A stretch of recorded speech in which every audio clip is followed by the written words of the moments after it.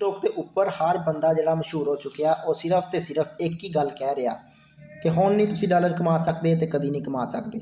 ਲੇਕਿਨ ਇਹ 'ਚ ਡਾਲਰ ਕਮਾਉਣ ਵਾਲੀ ਗੱਲ ਕੀ ਹੋ ਗਈ? ਲੇਕਿਨ ਸਿਰਫ ਕਸਮਾਂ ਖਾਈ ਜਾਣਗੇ, ਹਰ ਕਿਸਮ ਦੀ, ਹਰ ਝੂਠ, ਹਰ ਫਰੇਬ ਤੇ ਲੋਕਾਂ ਨੂੰ ਇਹ ਚੀਜ਼ ਨਹੀਂ ਦੱਸ ਰਹੇ ਕਿ ਅਸੀਂ ਕਿਸ ਤਰ੍ਹਾਂ ਵਾਇਰਲ ਹੋ ਰਹੇ ਹਾਂ, ਕਿਸ ਤਰ੍ਹਾਂ ਆਪਣੀ ਵੀਡੀਓ ਨੂੰ ਪ੍ਰਮੋਟ ਕਰ ਰਹੇ ਹਾਂ, ਕਿਸ ਤਰ੍ਹਾਂ ਅਸੀਂ ਟਿਕਟੋਕ ਤੋਂ ਅਸੀਂ ਅਰਨਿੰਗ ਕਰ ਰਹੇ ਹਾਂ।